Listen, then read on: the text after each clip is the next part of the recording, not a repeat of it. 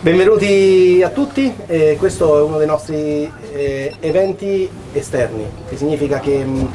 eh, in Pi Campus facciamo eventi interni dove ci divertiamo e non invitiamo nessuno. E eventi fanno cucinare? e dove Gianluca cucina. e poi eventi esterni dove mh, i- invitiamo un ospite che possa portare contributo nuovo al, nostro ecosistema, motivazione, informazioni, strategia, un punto diverso eh, di visione. Quindi sicuramente oggi non sentirete parlare di niente legato alle cose che esattamente state facendo oggi. Eh, vogliamo parlare di quello che potrebbe succedere nel futuro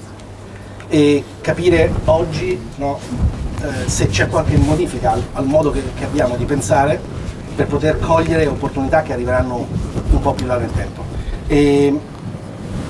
quindi è un piacere per me avere David che Che sta facendo il pagliaccio. sta facendo il pagliaccio, ciao, che, che conosco da, da tanti anni ormai, eh, quando abbiamo fondato Memopal perché lui era il distributore in Italia del competitor di, di Memopal. Quindi al solito le cose nascono per odio che poi si trasformano in amore, no? Eh, questa cosa, quindi eh, stranamente no, il, il percorso, eh, avevamo questa cosa de- del futuro che, che ci lega, eh, nel senso che lui eh, è un, un vero futurologo, cioè eh, studia eh, questo per, per mestiere e stranamente però un'altra cosa che ci ha unito è che dopo essere stato distributore di, di Memopal, quindi un cloud storage, di, di Carbonite, un nostro competitor, si è messo a fare un altro competitor nell'am- nell'ambito della traduzione. Quindi fa DotSub, che fa i sottotitoli. Oggi lui è il CEO di DotSub, che è un- una società che credo abbia base a New York, ehm, eh, che fa sottotitoli eh, per i video e offre servizi di traduzione di sottotitoli. E in questo piccolo frangente siamo competitor. A noi ci piace ehm, competere. E il background, però il motivo per quale lui è qui, non ci parlerà tanto di sottotitoli quanto eh, del futuro. Ehm, David eh, insegna e advisor della Singularity University, che è un progetto molto interessante. Non so se tu hai qualche slide, perfetto, allora non ti, non anticipo niente. E, mm, e quindi non aggiungo altro e do il benvenuto a David e diamogli tutti un applauso. Grazie. Grazie dell'introduzione Marco, grazie dell'invito e per la numerosissima partecipazione. Questo anfiteatro è incredibile, ho fatto un po' di riprese, stiamo facendo anche la registrazione del video, per cui se qualcuno si stufasse eh, di stare in piedi eh, o comunque eh, magari c'è un collega che vuole vedere la registrazione successivamente, lo eh, darò a Marco e, e- e giustamente lo dividiamo. E- il futuro deve essere sostenibile non solo ecologicamente ma anche economicamente e come questa sostenibilità eh, lo si raggiunge in effetti è un po' dei temi di cui, di cui parleremo. E-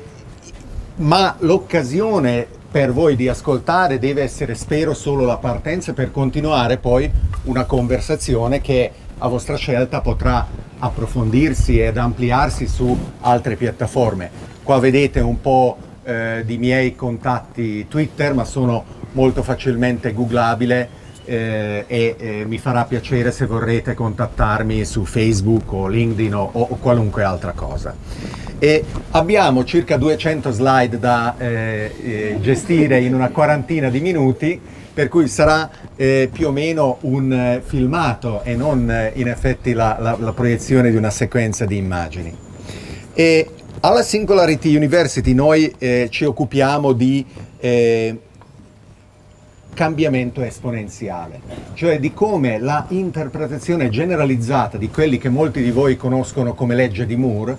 a partire dall'informatica oggi sta invadendo tutti i campi eh, economici e sta eh, cambiando anche eh, l'ordine sociale, l'organizzazione della nostra civiltà planetaria.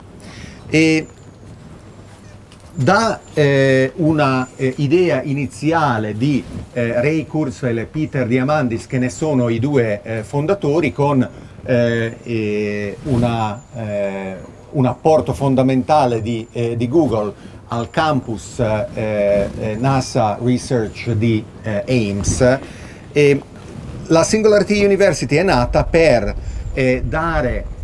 ispirazione ad una nuova generazione di persone che siano in grado di leggere questi segnali deboli di una tecnologia che avanza accelerando. E eh, i corsi che organizziamo hanno l'obiettivo di eh, dare un impatto eh, dirompente in termini positivi delle applicazioni di queste tecnologie in campi diversissimi, eh, intelligenza artificiale, robotica, energia e trasporti, eh, biotecnologie, biologia sintetica, eh, e applicazioni eh, che poi vengono eh, ognuna analizzate e declinate nella chiave di lettura del cambiamento esponenziale, che eh, migliora le prestazioni delle varie tecnologie facendole passare da una fase in cui sono quasi impercettibili anche per gli esperti difficili da decifrare in una fase dove ognuno può saltare sul carro del vincitore e dire ah sì sì io sono un futurologo, l'avevo predetto, avevo ragione, e che caratterizziamo attraverso eh, le 4D della digitalizzazione, della dematerializzazione, della demonetizzazione e della democratizzazione dell'accesso a queste tecnologie quello che facciamo è di eh, invitare gli studenti che partecipano ai nostri corsi ad applicare poi quello che imparano eh, con idee che possano migliorare la vita di più di un miliardo di persone in meno di dieci anni. Questo è il potere, questa è la leva di cui noi siamo capaci oggi eh, e che l'infrastruttura globalmente disponibile di internet, dei telefoni cellulari, del passaggio rapido delle informazioni che non sono più divise in eh, silos isolati permette di ottenere.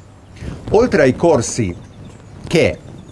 abbiamo eh, organizzato, sia i corsi estivi di 10 settimane che i corsi executive di una settimana durante l'intero arco dell'anno, eh, abbiamo eh, anche una Innovation eh, Hub e eh, una comunità che si sta ampliando sempre di più per eh, accogliere iniziative eh, che non sono solo in California, ma giustamente da Roma a Tel Aviv, a Bangalore, a Taipei abbracciano tutto il mondo.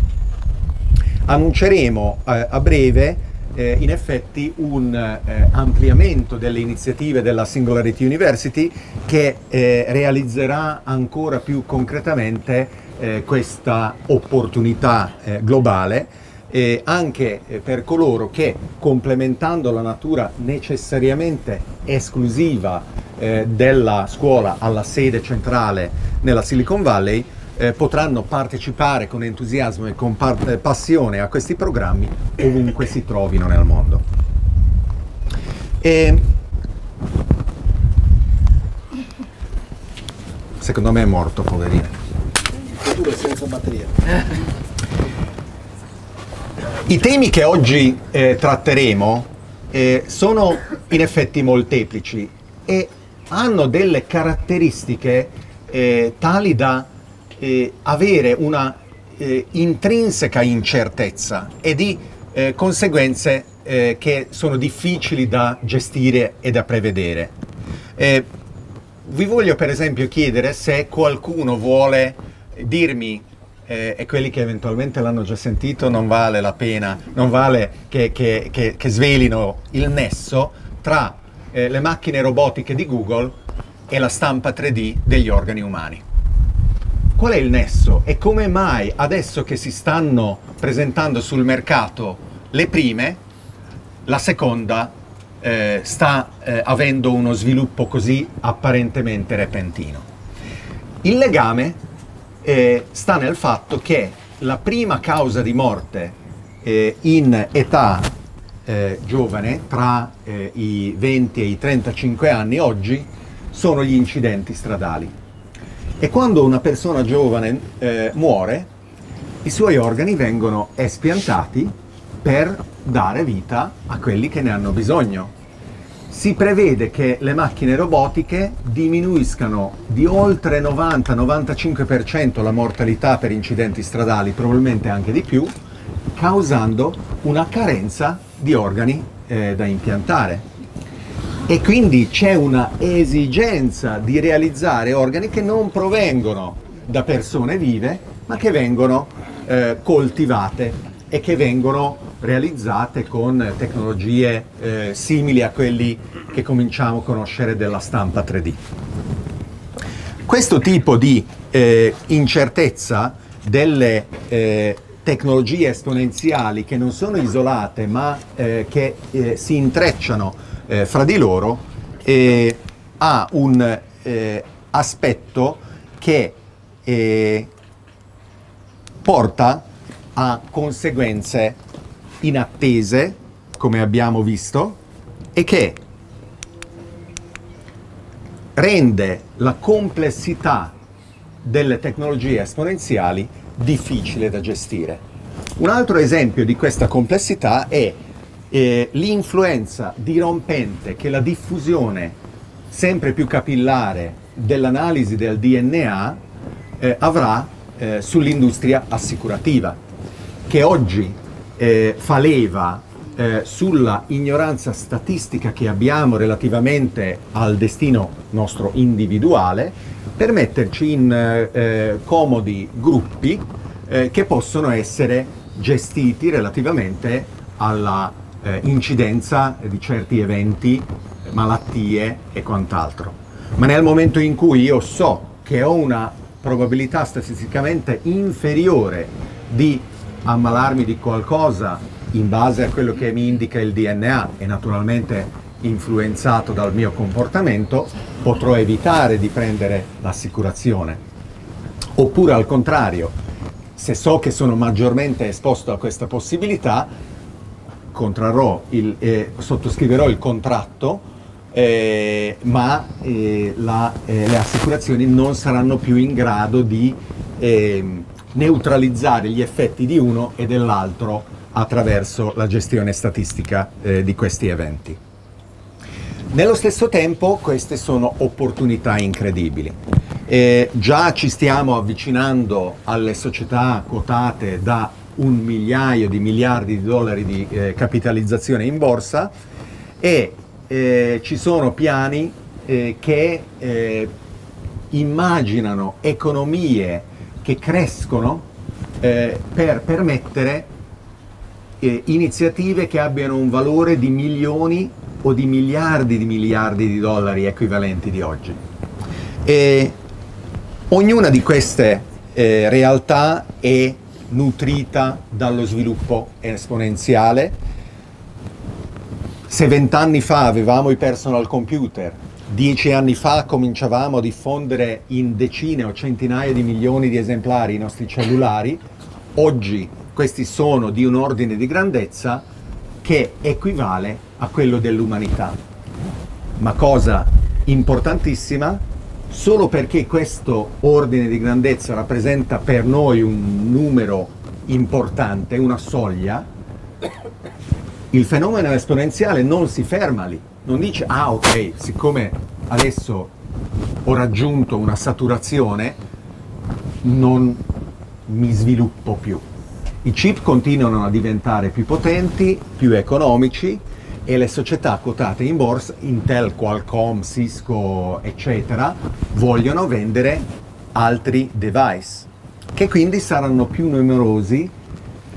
decine di miliardi, centinaia di miliardi, migliaia di miliardi che non gli esseri umani. Le conseguenze di questo eh, cambiamento confondono anche gli esperti. Il progetto Genoma Umano, partito nel 1985 con un piano di 15 anni di sviluppo, aveva un budget di 3 miliardi di dollari e a 7 anni dalla partenza del progetto era solo a 1% eh, dall'obiettivo. Eh, e anche chi se ne intendeva eh, raccomandava di abbandonare il tutto perché non c'erano 300 miliardi di dollari e 700 anni a disposizione. Non si rendevano conto che raggiunto questo andamento attraverso raddoppi progressivi da 0 a 1%,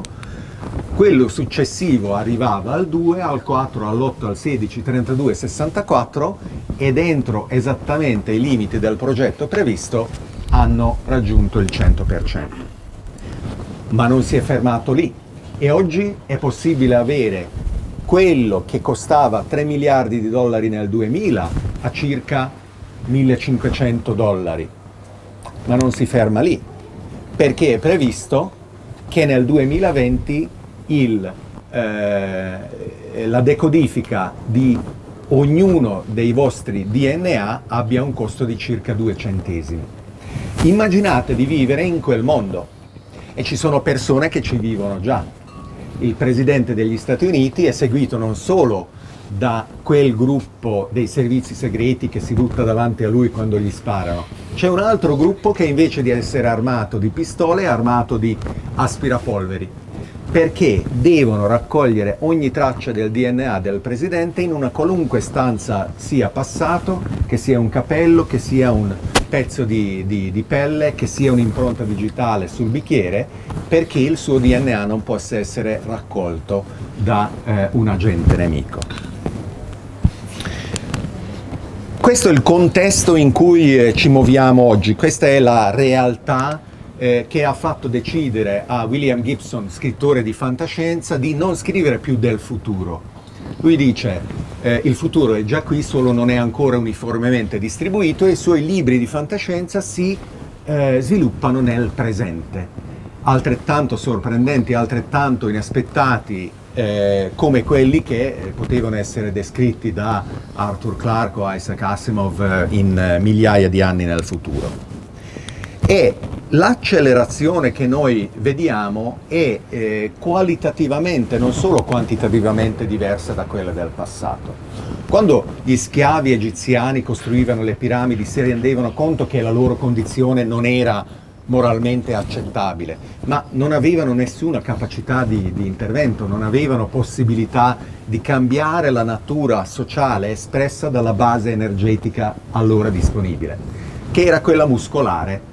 umana o animale. Se io avevo un pezzo di roccia da spostare, o la spostavo io, oppure ti dicevo spostala. E se mi dicevi di no, ti uccidevo o ti facevo schiavo. E così eh, abbiamo dovuto aspettare nel Medioevo che si sviluppasse la capacità di eh, utilizzare l'energia eh, eolica e idraulica locale, non per niente eh, i vassalli del feudalesimo erano relativamente più liberi degli schiavi, ma non potevano lasciare l'area del eh, signore feudale che li imprigionava in un ambito un po' più ampio. Due o tre secoli fa abbiamo cominciato la rivoluzione industriale che utilizzando l'energia più facilmente trasportabile del petrolio e del carbone ha permesso le grandi migrazioni verso le città, ha organizzato le nostre attività sociali attorno alle fabbriche e che ha comportato una trasformazione della società. Oggi possiamo chiederci quali sono le soglie di cambiamento e in base a che cosa arriveranno e come sarà la società che ci troveremo eh, di fronte che avrà un cambiamento così radicale come quello dai romani ad adesso. Se voi chiedevate ad un romano eh, è possibile avere una società che non sia basata sulla schiavitù? La risposta era in, invariabilmente no, è impossibile. E chiedetevi quindi quali sono gli assiomi che noi oggi pensiamo irrefutabili e che invece si, rimar- si riveleranno eh, falsi eh, o addirittura ingenui con eh, il senno del poi. La chiave di questi cambiamenti eh, è stata sempre la tecnologia. Noi non siamo animali moralmente migliori rispetto ai romani, eh, siamo le stesse bestie di prima. Abbiamo la fortuna di aver accumulato e aver mantenuto, aver gestito e nutrito una conoscenza che in un ciclo virtuoso di miglioramenti progressivi eh, gestisce hardware, software e i sistemi che eh, gli stanno eh, attorno eh, in generazioni successive. Un, eh, una critica ehm, sbagliata che spesso viene rivolta a questo tipo di ragionamento eh, parla delle curve logistiche, dice sì sì per carità parli facile oggi che vediamo questa esplosione della legge di Moore ma tanto andrà ad esaurirsi e quindi ci ritroveremo in un plateau eh, da cui non ci muoveremo più. Confondendo una singola tecnologia con il loro inviluppo perché l'esponenziale di cui io parlo è quella curva dedotta. Infatti, anche nei computer, 10, 20, 30, 40, 50 anni fa, la legge di Moore, non ancora formulata, era già all'opera. Quando c'erano eh, i tubi catodici, poi sono arrivati i primi eh, transistor, realizzati in quantità sempre maggiori, sempre più economici, in modalità sempre più dense, i circuiti integrati. Oggi stiamo raggiungendo quella, eh, quel livello di integrazione talmente spinta che eh, fenomeni che potevamo ignorare e che disturbavano un po', ma che gli ingegneri, realizzando questa profezia che si autoavvera, perché non è una legge di natura quella di Moore, eh, scavalcavano, eh, i fenomeni quantistici non sono più eh, possibili, non si possono più ignorare e quindi stiamo già studiando come le prossime generazioni, le prossime cioè, tecnologie eh, possano mantenere questa promessa attraverso i eh, calcolatori quantistici. Annunciati i primi esemplari nel 2007 con orrore eh, di quei circoli accademici che comodamente li volevano studiare per i prossimi 30 anni, non necessariamente arrivando ad alcunché di pratico, oggi i computer quantistici sono una realtà, ne abbiamo una installata alla NASA eh, ed è gestita da un italiano eh, Davide Venturelli che eh, è, è, andato alla Singularity University e, eh, ed è uno eh, dei membri del team eh, che eh, lo sta analizzando, programmando, applicando eh, in vari campi. Google ha studiato questo computer quantistico confrontando nelle prestazioni con un qualunque approccio attraverso algoritmi classici che sui propri server si potessero gestire e quindi in modo molto pragmatico e sperimentale ha verificato che non erano in grado di batterlo. E quindi senza preoccuparsi delle polemiche che contrappongono tuttora il eh, produttore di questo computer eh, ai puristi della scienza giustamente praticata nelle università, sono andati avanti. Così come va avanti l'hardware, va avanti eh, la capacità dei computer di capire l'universo. Quando sono nati eh, non erano in grado eh, di vedere e di sentire niente, addirittura non avevano memoria. Quando a fatica gli insegnavamo qualcosa, fare un po' di conto, moltiplicare, dividere, spenti la sera, la mattina toccava ripartire da zero. Poi attraverso eh, interazioni prima faticose con eh, le tastiere che stampavano,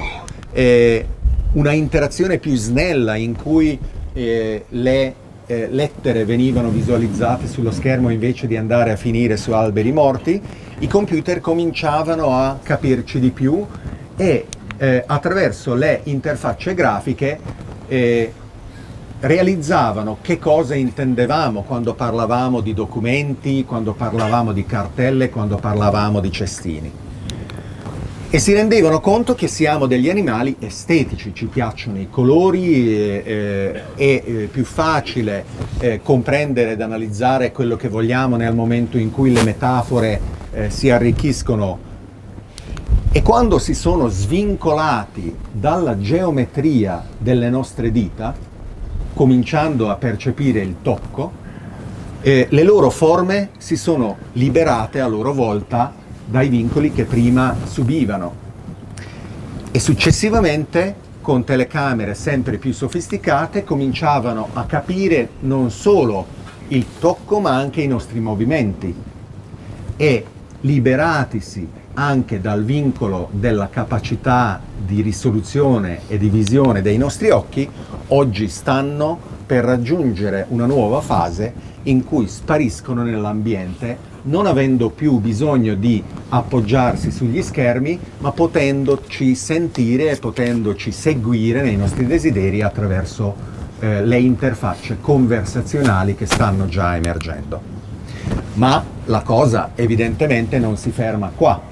e il, la prossima eh, fase di un'integrazione uomo-macchina eh, non solo si basa eh, sulle interfacce eh, cervello-computer, eh, ma eh, ci sono persone eh, come me che eh, stanno sperimentando impianti che interiorizzano la capacità dei computer di eh, capirci. Io ho un impianto all'interno della mia mano che mi permette di dare certe cose al mondo dei computer che prima non potevano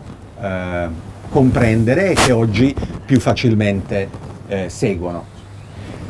Domani il mondo sarà diviso in due grandi categorie di oggetti.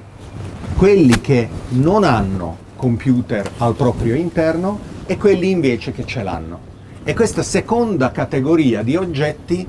avrà un vantaggio evolutivo fondamentale eh, e eh, di fatti spazzerà via il primo, che sia una sedia, eh, che sia un, una pianta, che sia un essere umano. È il paradigma vecchio di quello che è un'organizzazione che da migliaia di anni eh, ha realizzato la civiltà umana, di eh, un'organizzazione centralizzata, gerarchica delle nostre attività sociali ed economiche, eh, darà via eh, ad un nuovo paradigma eh, che si basa sulla interconnessione planetaria di reti decentralizzate e distribuite. È già possibile oggi vedere dei segnali deboli di questo cambiamento. Se confrontate eh, la modalità di pianificazione e realizzazione di una centrale eh, a petrolio, a gas o nucleare che ha bisogno di investimenti di miliardi, eh, di decine di anni di ritorno sull'investimento, con le decisioni eh, eh, granulari, diffuse, che ognuno individualmente può prendere se mettere o meno un impianto solare sulla propria casa o sulla propria azienda, è un esempio di questa differenza e del potere dei sistemi decentralizzati e distribuiti. Nella manifattura altrettanto fa la stampa 3D, che permette di connettere tutto il mondo con le idee migliori per effettuarne la realizzazione locale, accelerando i cicli di miglioramento in modo iterativo.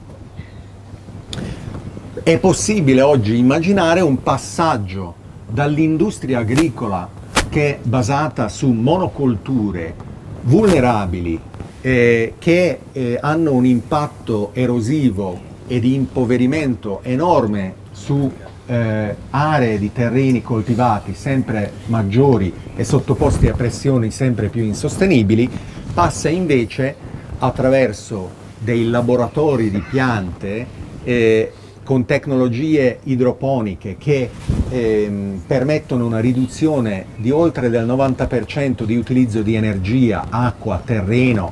ehm, una coltivazione locale, ricca, corrispondente a quelle che sono le esigenze eh, del posto e senza utilizzo di pesticidi e cosa molto importante che trasforma l'attività eh, di produzione di cibo da una proporzionale all'area occupata ad una che cresce con il volume disponibile. Stiamo anche vedendo eh, la possibilità di una stampa 3D della carne, la coltivazione di carne. Eh, un nostro team della Singularity University era presente nel 2013 quando il primo hamburger eh, coltivato è stato consumato, eh, è costato 300 mila dollari realizzarlo e non era molto buono. E conteneva solo cellule muscolari, non c'erano cellule di grasso che rendono buona la carne eh, ai nostri gusti eh, e quindi eh, costato un hamburger 300.000 dollari, mettiamo un milione di dollari al chilo, due anni dopo quanto costa la carne coltivata al chilo? 11 dollari. Okay? Le associazioni vegane e vegetariane hanno già dichiarato che i loro membri potranno consumare la carne coltivata perché non eh, proviene da sofferenza animale e eh, non eh, è prodotto eh, attraverso un sistema nervoso che lo può, lo può esprimere. I nostri eh, cellulari sono sempre più ricchi di sensori, ci permettono di vedere qual è eh, il nostro stato di salute da preservare invece di intervenire quando è troppo tardi, responsabilizzando l'individuo, distribuendo e decentralizzando così le decisioni invece di accentrarle in ospedali, sempre più focolaio di infezioni e di problemi. Eh, anche gli ospedali stessi se ne rendono conto nel momento in cui il day hospital è sempre più importante, non solo per la riduzione dei costi. Accedere alla conoscenza non è più un ostacolo. Le università che cosa servono nel momento in cui la promessa del patto sociale, della laurea che procura il lavoro è evidentemente una promessa falsa? Qual è eh, il nuovo obiettivo se non è l'esclusività di una conoscenza segreta di cui morivano gli alchimisti che eh, dobbiamo raggiungere, ma possiamo contare su una fertilizzazione incrociata orizzontale di diverse discipline che accelerano applicazioni sempre più interessanti. La finanza è una tecnologia che ci piace additare eh, come causa unica di problemi come eh, la crisi eh, finanziaria e economica del 2008, ma è una tecnologia di cui non possiamo fare a meno. Il commercio mondiale si basa inestricabilmente sulla nostra capacità di rappresentare, trasferire, trasmettere valore eh, che crea eh, vantaggio reciproco per chi vende e chi compra. E si presentano oggi nuove tecnologie che eh, permettono, per esempio, ai 3 miliardi di eh, persone che non potranno mai aprire un conto corrente bancario, se solo dotati di uno smartphone collegato ad internet, di partecipare al mondo finanziario globale moderno alla pari con tutti. Questi otto esempi che vi ho elencato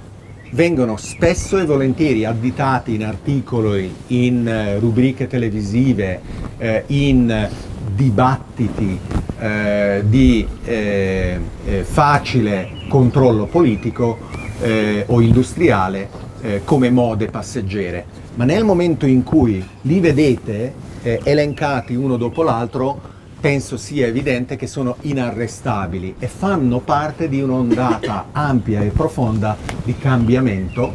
dove quindi la cosa da chiederci è che cosa dobbiamo fare per poterci adattare a questo cambiamento che sta arrivando per non essere spazzati invece via. E sono molti anni che parlo di questi temi e l'anno scorso ho deciso che era il momento giusto, ho creato una, eh, una non profit eh, basata su Londra che oggi ha 22 ambasciatori in 17 paesi e Network Society Research studia e analizza ed insegna ed applica eh, a governi, aziende ed individui eh, quelle che sono le eh, misure eh, di un'analisi strategica di disallineamento o di ottimale allineamento dei comportamenti. In un mondo globale non è possibile sapere qual è il, il giusto. Nel momento in cui eh, vedi una fotografia di New York che è la stessa di fatti della fotografia di Hong Kong, la cosa più importante è di avere gli occhi aperti, la mente aperta e di accogliere le best practice, le capacità di agire e di risolvere i problemi. Eh, Bloomberg, eh, l'ex sindaco di New York, ha creato eh, una rete delle più grandi città del mondo che si stanno coordinando per arrivare a questo obiettivo, spesso tranquillamente e volutamente ignorando quelle che sono le complessità o le indecisioni e la paralisi della eh, rispettiva nazione e della capitale corrispondente. Nelle aziende eh, l'incertezza eh, non è eh, qualcosa che è basata su una insufficiente conoscenza dei dati, eh, non è qualcosa che è causata eh, da una eh, leadership aziendale che è, è incapace. Salim Ismail, ehm, il direttore esecutivo ehm, che ha guidato Singularity University alla sua fondazione, ha pubblicato li, il libro Exponential Organizations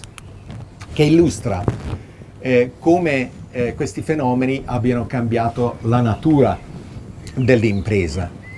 Eh, uno degli indici del successo aziendale è quello di entrare eh, nel eh, mercato Standard Poor's 500 eh, che raggruppa le aziende eh, di maggiore capitalizzazione in borsa. E eh, se tu raggiungevi questo culmine eh, di, di, successo eh, negli anni 20-30, avevi statisticamente una probabilità di rimanerci fino alla fine del secolo. Oggi eh, lo stesso risultato ti dà sogni, fra virgolette, tranquilli per non più di una dozzina di anni. E questa incertezza esponenziale è intrinseca perché non è possibile analizzare e misurare le interazioni delle diverse tecnologie ad un grado di approssimazione tale che non venga ampliato all'infinito. Ehm, è necessario continuare ad aggiustare la rotta anche da parte delle aziende più grandi. Ho accennato come eh, le eh, generazioni di macchine eh, che seguiranno quelle attuali disegnino eh, un, eh, una rete qualitativamente nuova. E internet degli oggetti o internet di tutte le cose come eh, lo chiama Cisco all'interno delle sue conferenze come Cisco Live dove ero keynote speaker questo gennaio questa rete disegna eh, un eh, sistema di sensori sempre più eh, granulare che è necessariamente autonoma. Se già oggi eh, abbiamo eh, un certo fastidio nel momento in cui il cellulare ci ordina di ricaricarlo eh, e siamo circondati da una mezza dozzina di apparecchi di questo tipo che ci rendono schiavi, nel momento in cui saremo circondati di centinaia o di migliaia di, di, di nodi dell'internet degli oggetti, questi dovranno essere assolutamente autonomi. E questa autonomia è qualcosa che vediamo già oggi, timidamente espressa eh, dagli eh, eh, aspirapolveri robotici che ricordano dove è la presa di corrente e quindi non hanno bisogno di essere ricaricati perché tranquillamente eh, vanno eh, e si ricaricano per poi finire il lavoro. E eh, le reti eh, dell'internet degli oggetti hanno oggi eh, un, una capacità di, di, raccolta dei dati che ehm, deve necessariamente essere organizzata su principi diversi rispetto a quelli che vediamo oggi. Eh, la, eh, comoda vulnerabilità della centralizzazione dei dati che viene sfruttata dai servizi segreti di tutto il mondo per corrompere la legalità eh, della società civile eh, è eh, supportata dalle architetture eh, fallimentari di Google, di Facebook e di Twitter che meritano di morire per salvare la civiltà umana che non può soccombere all'interno di questa crisi che stiamo vivendo la capacità di sentire e di sentire il mondo che crea una eh, capacità di eh, introspezione delle macchine potrà, secondo alcuni, portare successivamente, attraverso generazioni eh, di evoluzione, all'autocoscienza. Che cosa potrà avvenire? Abbiamo già visto dei passaggi eh, improvvisi, passaggi dove eh, strutture eh, convintamente al potere, eh, come l'icona della generazione eh, delle macchine fotografiche, chimiche, che è stato leader del proprio mercato per oltre cent'anni, è stato spazzato completamente via eh, da una dozzina di eh, ragazzini davanti al loro computer. E oggi vediamo un passaggio altrettanto fondamentale. È di due mesi fa eh, il rapporto rilasciato dalla Banca Nazionale di Abu Dhabi che eh, tutta la richiesta di energia eh, aggiuntiva che eh, sarà eh, necessario soddisfare nel Medio Oriente, in quanto finanziata da loro, eh, sarà soddisfatta da eh, energie rinnovabili, principalmente energia solare, e che oggi hanno già dei piani eh, finanziabili eh, per impianti solari che senza alcun aiuto di Stato eh, sono in grado di competere con un petrolio che costa 10 dollari al barile. Le piattaforme eh, di questo cambiamento che vediamo attorno a noi sono in grado di disegnare nuove comunità eh, che non sono solo sostenibili, perché non è sufficiente mantenere uno stato di degrado ambientale che abbiamo raggiunto attraverso la nostra avventura degli ultimi 10.000 anni. Dobbiamo essere in grado di decidere qual è la direzione in cui dobbiamo andare per implementare comunità che siano di rigenerazione, di un equilibrio che attualmente è molto lontano da quello ottimale, non solo all'interno di una natura di cui eh, non dobbiamo essere eh, superficialmente rispettosi, eh, ma anche all'interno della nostra civiltà umana.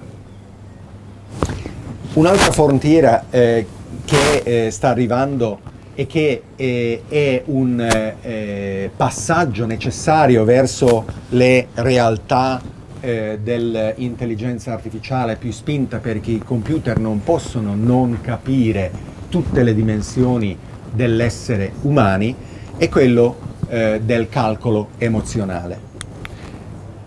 ha fatto scalpore inutilmente l'esperimento di Facebook che esponeva qualche centinaio di migliaia di eh, propri utenti a notizie negative oppure positive per poi concludere che in effetti ne venivano influenzati.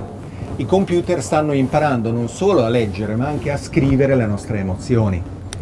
Immaginate che eh, il vostro smartwatch rilevando eh, un eh, una correlazione strana eh, tra il vostro movimento che è di passi normali e regolari, ma il battito cardiaco accelerato, chieda al calendario cosa sta succedendo e questo rispondendo dica in effetti sta aspettando una chiamata con il capo. E che fra di loro avvertano eh, il riproduttore musicale dell'ambiente perché questo per quei 10-15 minuti che mancano ancora mandi della musica eh, eh, che possa tranquillizzare e quando la telefonata avviene e eh, il sistema eh, di gestione del personale conferma che non sono stato licenziato, si diano una pacca sulle spalle reciprocamente, buon lavoro. Questo tipo di esperimento è perfettamente fattibile già oggi, è solo questione di collegare hardware, software e design in applicazioni avanzate che l'infrastruttura distribuita e decentralizzata mette a disposizione. Saremo in grado in effetti di analizzare quelli che sono dei presunti universali eh, della comunicazione emotiva umana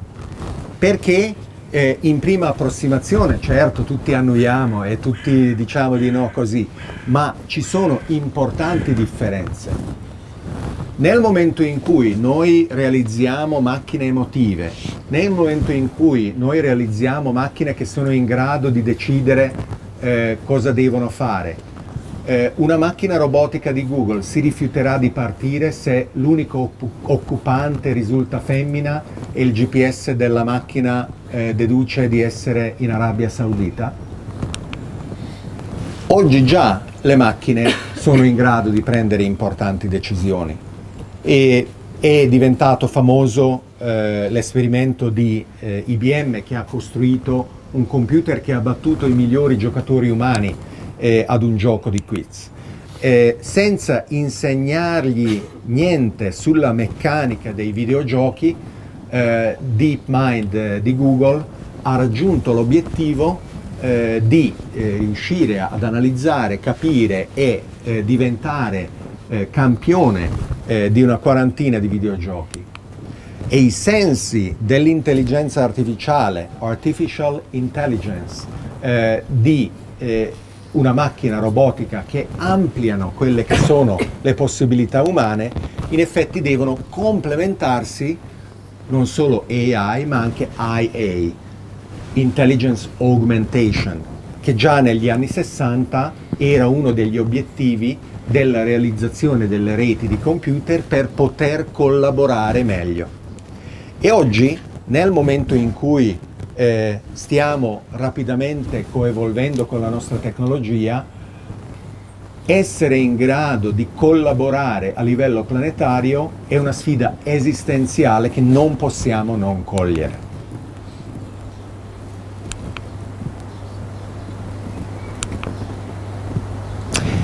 Dobbiamo essere in grado di analizzare,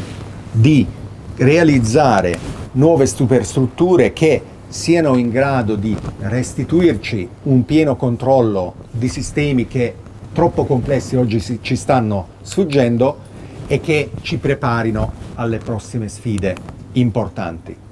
È molto importante secondo me tra l'altro eh, metterci d'accordo che non è desiderabile eh, una dittatura mondiale, che le variazioni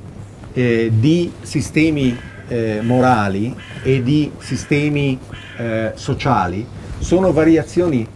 necessarie perché è solo attraverso una eh, sperimentazione continua eh, che possiamo trovare nuove configurazioni e soluzioni robuste ai nostri problemi. Viviamo in un mondo veramente incredibile. E qualche centinaio di anni fa eh, se, eh, non so se la parola esisteva, ma eh, facevi quello che oggi chiamiamo imprenditore e sbagliavi, il meglio che ti poteva succedere è che andavi in galera. Qualche migliaio di anni fa, se facevi quello che oggi chiamiamo cacciatore, eh, ma allora era la vita, e sbagliavi, ti potevi permettere di farlo per non più di qualche giorno e poi morivi. E oggi abbiamo il privilegio di poter sperimentare e di sbagliare con il sostegno di una struttura sociale che ce lo perdona, che anzi ci incoraggia a farlo perché si rende conto che non sappiamo nemmeno se 7 miliardi di individui sono sufficienti per produrre quel genio che sarà in grado di trovare la soluzione ad Ebola, ad ISIS, all'asteroide che arriva o ad altri problemi che abbiamo. E l'innovazione che eh, creiamo e l'invenzione che eh, ci porta nuove risposte non fanno altro che creare eh, blocchi di costruzioni per nuove domande che eh, volentieri ci chiediamo, che ci esaltano in una ricerca eh, di adozione di metodi che chiamiamo startup la missione che dobbiamo necessariamente porci e che non può essere descritta in un business plan perché è impossibile intrinsecamente prevedere come si svilupperà il mondo nell'arco dei prossimi cinque anni, deve essere complementata dalla misura dei passi e delle correzioni corrispondenti e solo nella corrispondente complementare coesistenza di questi due la missione a lungo termine e l'iterazione del percorso intermedio che possiamo eh, sperare di avere una chance di raggiungere il successo. Dove tra l'altro eh, quello che eh, per me è particolarmente eh, esaltante è la possibilità non solo di imparare ma anche di insegnare immediatamente trovando eh, una eh, soddisfazione nella autoselezione di nuove comunità. Io spesso mi definisco un outsider di professione perché arrivo all'interno di un campo di cui non ne so niente e un po' alla volta eh, trovo agganci, interessi, domande eh, utili